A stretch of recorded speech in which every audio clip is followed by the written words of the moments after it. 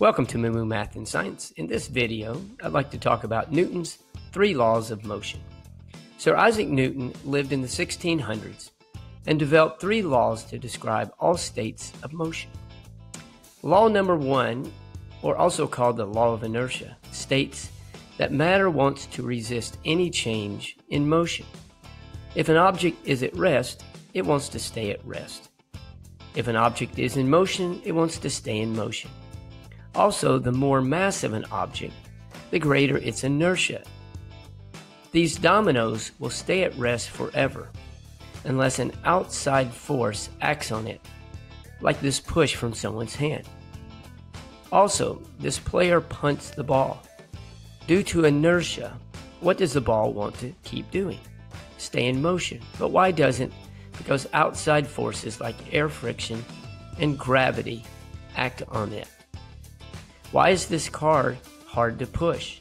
That is because it wants to stay at rest and it has a larger mass than the man trying to push it.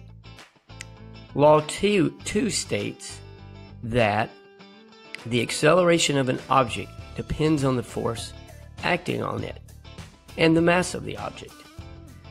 There's also an equation to go along with this law, and it states that force equals mass multiplied by acceleration.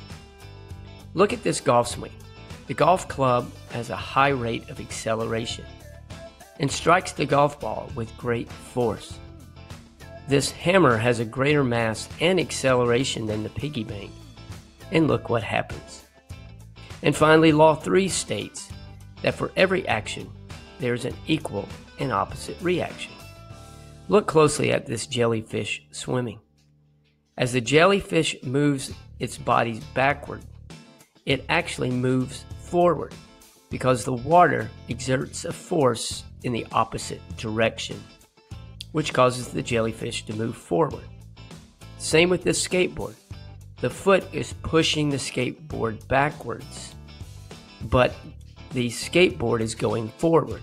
That is because the foot and the pavement is exerting a force in the opposite direction, causing it to go forward when pushing backwards.